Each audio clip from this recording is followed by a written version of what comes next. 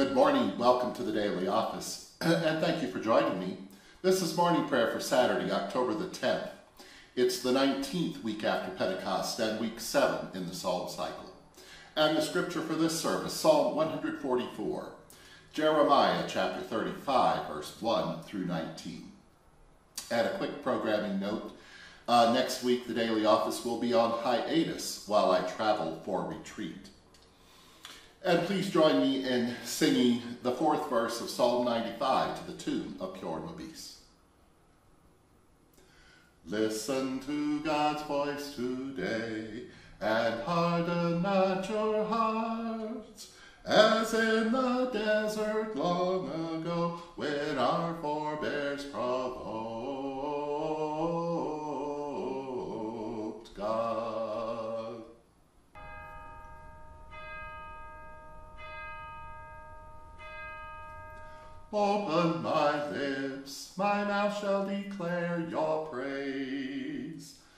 Alleluia. Blessed are you, my God, my strength, who trains my hands for war. Alleluia. Psalm 144. And please recite it with me. Alleluia. Blessed are you, my God, my strength, who trains my hands for war and my fingers to fight. My goodness and my fortress, my high tower and my deliverer my shield, the one in whom I trust, who subdues my people under me. O oh God, what are we that you even notice us? Mere mortals that you care about us. Creatures who are like a breeze, our days like a shadow that passes away. Bend your heavens and come down. Touch the mountains and they shall smoke. Cast forth lightning and scatter the foe. Shoot out your arrows and destroy them.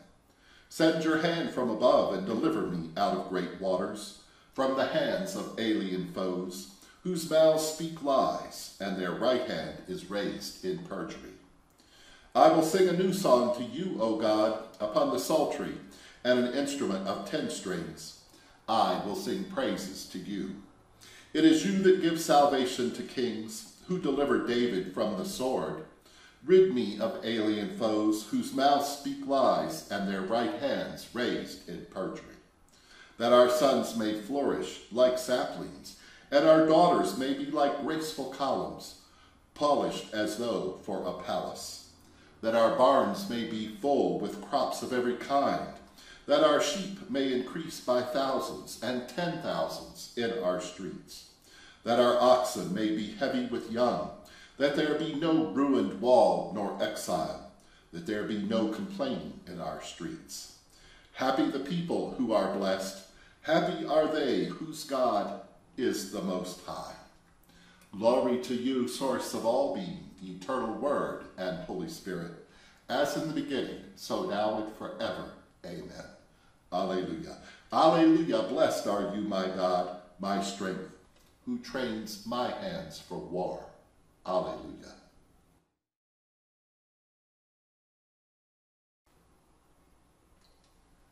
A lesson Jeremiah, chapter 35, beginning at verse 1.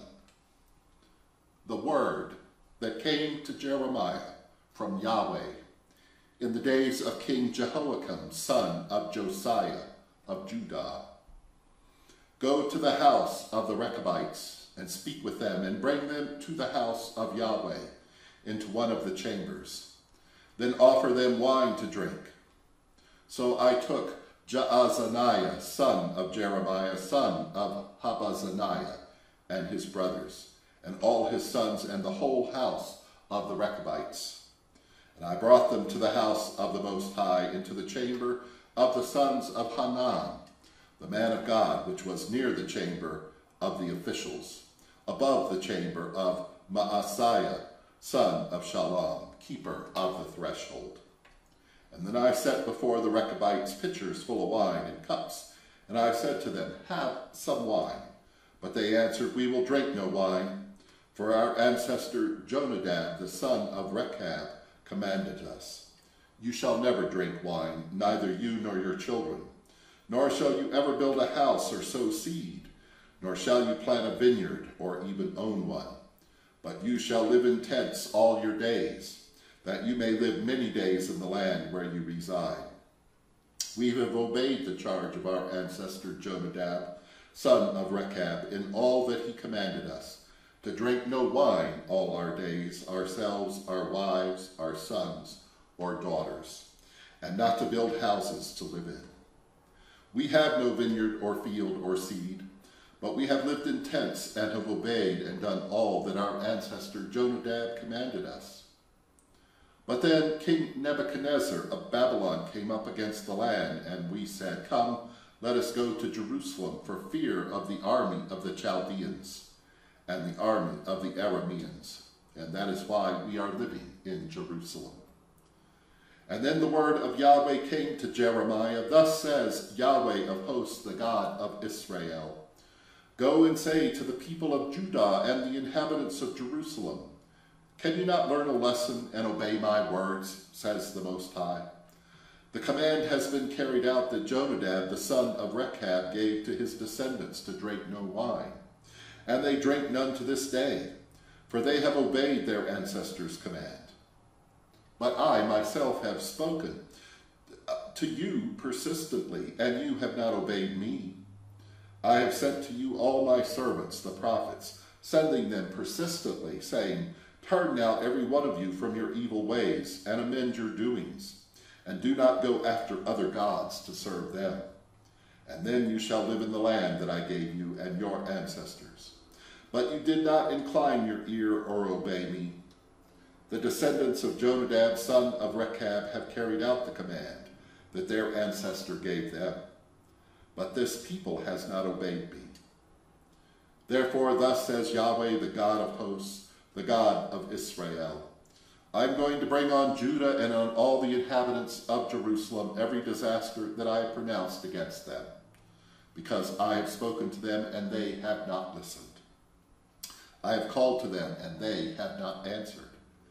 But to the house of the Rechabites, Jeremiah said, Thus says Yahweh of hosts, the God of Israel, because you have obeyed the command of your ancestor Jonadab and kept all his precepts, and done all that he commanded you. Therefore thus says the Most High of hosts, the God of Israel, Jonadab, son of Rechab, shall not lack a descendant to stand before me for all time. Here ends the lesson.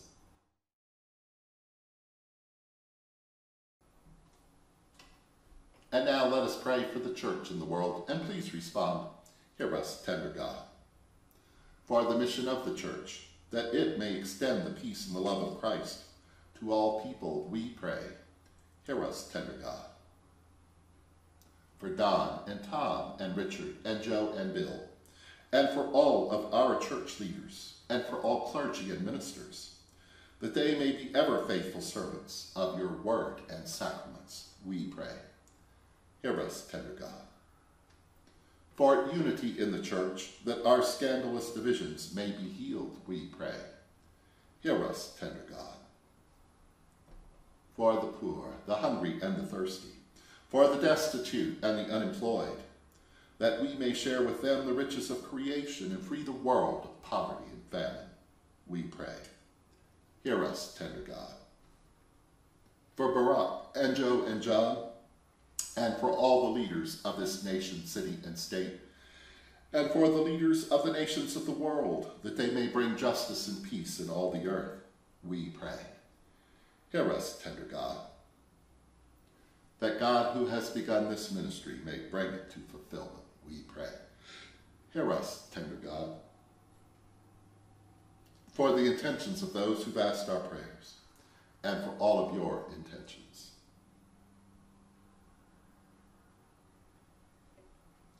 We pray. Hear us, tender God. Together. Our beloved, which art in heaven, holy is your name. Your kingdom come, your will be done on earth as it is in heaven. Give us this day our daily bread. Forgive us as we forgive others. Lead us not into temptation but deliver us from evil. For the kingdom, the power, and the glory are yours, now and forever. Let us pray. Your blessings fill us with joy, Almighty God, for you give us the victory and set us free from the enemy. Accept this, our humble praise and song. In Jesus' name we pray. Amen.